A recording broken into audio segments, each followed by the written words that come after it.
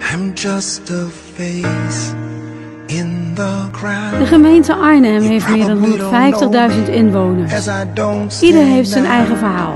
Vragen naar hun dromen, hun herinneringen, die soms mooi, soms verdrietig zijn. Ik ben op een bankje in Arnhem. Nou, u zit hier op bankje in de Lauwersgracht. En met wie heb ik het genoegen? Maar Ans Brouwer. Ans Brouwer. En de Lauwersgracht zit u daar vaker? Eh, daar zit ik nu niet zo vaak meer. Maar daar ben ik wel vroeger heel veel wezen spelen. Omdat ik eh, geboren en opgegroeid ben in het Spijkerkwartier. En dan gingen jullie vaak hier naar het Baratan? Dan ging ik met mijn moeder, mijn zus en mijn broer gingen we met een bal eh, gingen we naar de Lauwerspark. En daar speelden wij dan de hele dag. Vroeger lag er een bootje in het water waar de mensen mee naar het eilandje vaarden. En daar zaten we dan de halve dag een beetje op en een beetje ballen met de, met de bal. En eh, dat was dan onze schoolvakantie. Dat was het? Dat was het. Ja, meer geld was er vroeger niet om op vakantie te gaan. Dus we zaten of in eh, Sonsbeek bij de hertjes, die we voerden met oud brood. Of we waren aanwezig in het Lauwerspark. En wat voor gezin komt u uit? Ik kom uit een gezin met een eh, oudere broer en dan een jongere zus. En dan pa en ma, die op den duur wel zijn gaan scheiden. Dus op een gegeven moment ben ik wel een kind van gescheiden ouders geworden. Hoe oud was u toen dan? Ik was acht jaar toen mijn ouders gingen scheiden. Dat was heel uitzonderlijk in die tijd, of niet? Dat was behoorlijk uitzonderlijk. Maar ja, op een gegeven moment moet dat, hè. Wat moet, dat moet. Veel moeite mee gehad als kind? Nee, eigenlijk niet. Toen, vanaf het moment dat, het, eh, dat mijn ouders zijn gescheiden, hebben wij als kinderen en eh, mijn moeder ook behoorlijk veel rust in het leven gekregen. Was niet gezellig met papa? Nee, mijn vader was een alcoholist, dus die kun je dan beter kwijt zijn dan rijk zijn. Maar dat, dat lijkt me wel heftig als kinderen Dat is te een zien behoorlijk. dat je vader zo drinkt. Ja, dat is behoorlijk heftig geweest en dat heeft ook wel een behoorlijke invloed op ons leven gehad. Ja, Ja? omdat mijn broer later ook alcoholist is geworden. Die, eh, die werd natuurlijk grootgebracht in de alcoholisme, dus die eh, ging het op een gegeven moment ook nabootsen. Die zijn we verloren toen hij 45 was. Dus dat is eh, alweer tien jaar geleden. Wat jong. Ja, die is overleden ook aan de alcohol. Mist u uw broer? Ja, op sommige momenten natuurlijk wel. Hè. Kijk, eh, je gaat er eigenlijk vanuit dat je met z'n drieën, je zuster, je broer en jezelf, groot wordt. En dan sta je toch als die 45 is aan zijn kist en dan breng je hem weg. En dat is nu dan alweer tien jaar geleden, dus dat eh, zegt wel wel wat. En daar, daar denk je als kind zijnde natuurlijk nooit aan, dat je je oude broer wegbrengt. En als moeder zijn al helemaal niet. Hè. Als Uw moeder leefde nog. Mijn moeder leeft nog steeds. Dus die Oh. heeft het kind weggebracht. Er is verrekt te veel te zeggen. En te liegen nog veel meer. Heel veel bagger bloot te leggen, al doet het graven nog zo'n zeer. Ik ben een eikel, maar ik leer. Maar waarom is uw vader gaan drinken, weet u dat? Zat in de familie, de hele familie, al zijn broers en zijn vader, eh, alles dronk. Het was een alcoholistische familie, dus eh, ja, dan ga je het al gauw nadoen. Hè? En hij, alleen uw broer is gaan drinken? Alleen mijn broer is gaan drinken. Ik en mijn zuster allebei niet, nee. Ik heb er een hele afkeer van gehad. En mijn zuster die kan een borreltje nemen en een drankje nemen, maar die weet wel maten te houden. Ik denk dat we daar ook te veel ellende van gezien hebben om nu zelf zoveel te gaan drinken. Je krijgt wel een echte antipathie tegen je mensen zat ziet, of niet? Ja, daar gaan we van griezelen, die gaan we ook uit de weg. Zolang ze gezellig zijn en vrolijk zijn, is het allemaal leuk. Zodra mensen vervelend en lastig en handtastelijk worden en agressief worden, zijn wij weg. Werd vader agressief dan? Mijn vader werd agressief, ja. ja. Die sloeg mijn moeder ook waar we bij in ons bij zijn. Dus die werd behoorlijk agressief, ja. Wat naar voor Ja. een kind om dat te zien.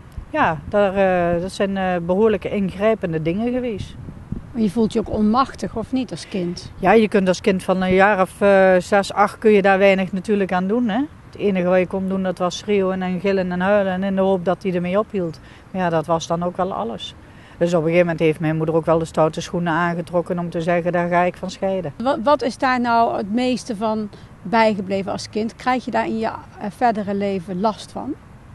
Als je zo, Dat denk ik wel. Je hoort altijd wel zeggen van eh, het kind van gescheiden ouders is het kind van de rekening. En ik denk dat dat ook wel zo is. Ik ja, maar ook wat je allemaal hebt gezien en met je vader en moeder. Zijn er Eh. dingen waar je eigenlijk dacht van nou dat heb ik verwerkt, maar dan komt het toch in ene keer weer als een soort duveltje in een doosje. Ja, dat is een paar jaar geleden er allemaal wel uitgekomen. Dat, eh, dat, dat, daar ben ik wel nou overheen. Ik bedoel net wat ik net zei, hè, je moet alles een keer een plek geven in je leven. En op een gegeven moment denk je, nou ja goed, dat lot ja, heb ik dan eh, moeten tarren. En ik moet nu verder. Je kunt niet bij alles in je leven stil blijven staan. Een oceaan om in te vluchten, nooit jaloers te hoeven zijn. Liefde om je hart te luchten, een oceaan, hoe lekker zou het zijn. Is het leven verder een beetje lief voor u geweest? Eh, ja, hard werken. En eh, ja, ook wel heel veel meegemaakt in het leven. Mijn man bijvoorbeeld, die eh, drie jaar geleden ziek is geworden. En eh, daar weer heel erg voor heb moeten knokken. Wat heeft hij dan? Mijn man heeft de ziekte sclerodermie. Zegt me niets. Nee, dat snap ik. Er zijn ook maar zo'n beetje 3000 mensen in Nederland die die ziekte hebben. En dat is een bindweefselziekte. Dat betekent dat wij allemaal in elkaar zitten door een bepaald hoeveelheid bindweefsel. En bij, eh, als dat voldoende is, dan stopt dat bindweefsel zich ook met aanmaken. Maar bij mijn man zit er een eh, fout in de genen, waardoor dat bindweefsel constant maar doorgaat. En dat betekent dat je uiteindelijk overdreven gezien aan het verstenen bent. Ja, bah. Ja. En daar kunnen ze niks aan doen. Daar is hij, eh, drie jaar geleden is hij daarvoor geholpen in het Radboud ziekenhuis. En de behandeling heeft bij hem heel goed aangeslagen. Dus hij werkt nog steeds zes dagen in de week in ons eigen bedrijf. Wel met be- bepaalde beperkingen. Hij kan niet alles meer. Maar eh, als hij goed luistert naar zijn lichaam, dan kan hij volgens de artsen nog 82 worden. Dus. Oh, dus dat is allemaal wel goed op de poten terechtgekomen. jawel, maar je krijgt het toch te verwerken, zoiets. Ja, ja, ja, ja. We hebben heel wat te verwerken gehad in het leven. Maar dat neemt niet weg dat je nog wel kunt genieten van de meest simpele kleine dingen. Ik bedoel, iedere morgen dat hij weer vrolijk opstaat en naar zijn werk gaat en daar weer heel veel plezier in hebt. Dat maak je toch wel weer een hele dag goed mee. Want u heeft een eigen bedrijf. Ja. Wat doet u? We hebben een glasbewerkingsbedrijf waarin we ook vuurwerk verkopen en ook carnavalspullen verkopen. Oh, vuurwerk. Vuurwerk, Dus ja. dan komt heel Arnhem weer bij u voor vuurwerk. Dan komt, dan al heel... Of niet? Er wordt heel wat geld uitgegeven Daar wordt jaar. heel wat geld aan uitgegeven, ja. ja, ja. Oh. Dus dat loopt verder wel goed. En eh, ja, dat is ook wel de lust en de leven van mijn man. Hè. Het werken, dat vindt hij helemaal geweldig. En Van uw man en van uzelf dan? Van mij ook, ja hoor. Wij zijn dat bedrijf in 1984 begonnen. Dus dat geeft al wel aan dat we echte doorbijters zijn. Want het is natuurlijk, komt tegenwoordig allemaal niet zomaar aanwaaien. Maar we hebben er allemaal heel veel plezier in. Onze zoon werkt ook in het bedrijf. Heeft u één kind? We hebben één zoon, ja. Maar hij, eh, toen uw zoon uitging, heeft u dan de angst gekregen toen hij ging drinken, bijvoorbeeld? Mijn zoon? Ja? Nee, nee, nee. Dat je bang bent dat iets toch inderdaad in je genen zit, dat je verslavingsgevoelig bent. nee. En, Mijn zoon lijkt als twee druppels water op mijn broer. ja? Qua, ui- ja, qua uiterlijk, qua lichamelijk, qua, qua, qua, qua alles eigenlijk.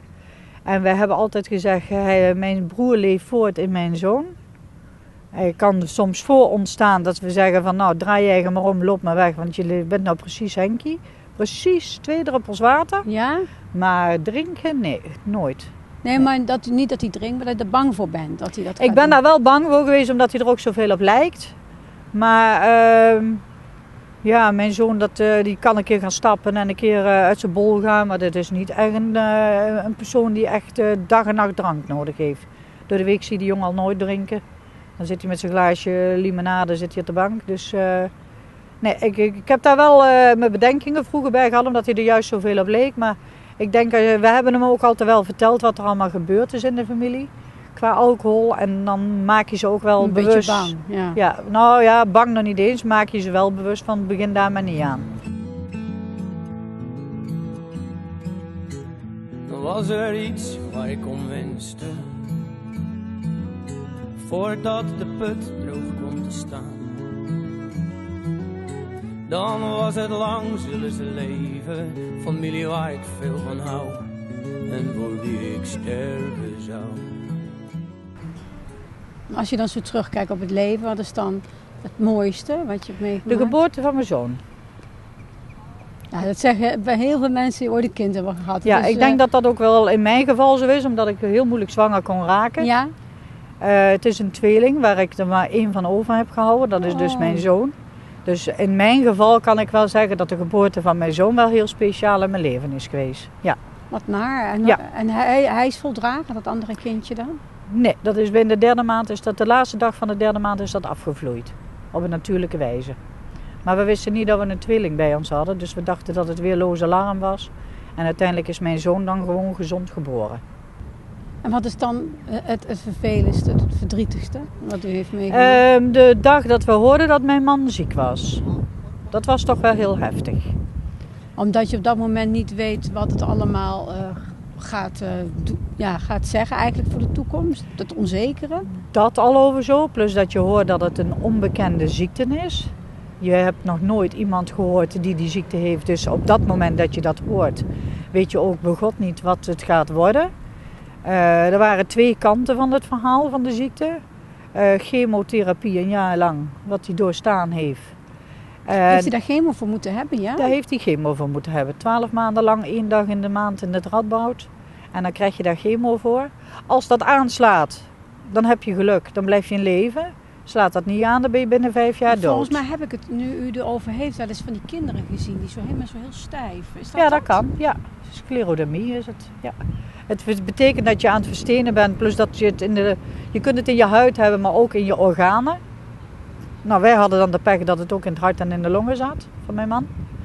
Dus uiteindelijk door die chemo is dat allemaal wel heel erg goed eh, afgelopen. Dus we gaan om de drie maanden weer naar het radboud voor controle. Maar de arts is daar nu zeer te positief over. Er zijn nog geen echte medicijnen voor die mensen. Daar zijn ze wel mee bezig. Maar ja, dat kan nog wel tien jaar duren. Een oceaan om in te vluchten, nooit jaloers te hoeven zijn.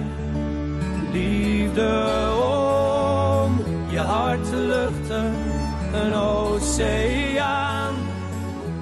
En hoe is het met contact met vader dan? Is dat gewoon... Vader is overleden en daar heb ik na de scheiding geen contact meer mee gehad. Nee? Nee, nee. Heb Hij ik heeft ook ook geen nooit contact gewillen. gezocht met zijn kinderen? Jawel, soms wel, maar ik wilde dat zelf niet.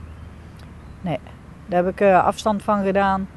Vanaf het moment dat ze zijn gaan scheiden. Dus dat, eh, dat, heb, dat punt heb ik, dat, dat hoofdstuk heb ik afgesloten in mijn leven.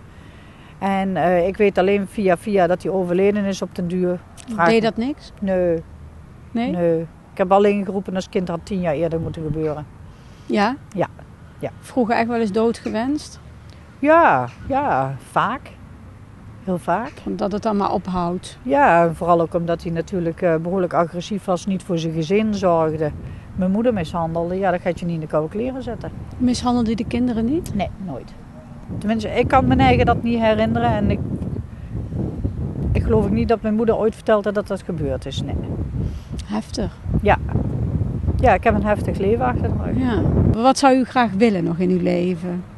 Dat de mensen om me heen, eh, ongeacht of ze al wel of niet ziek zijn, in ieder geval een lang leven mogen bekoren.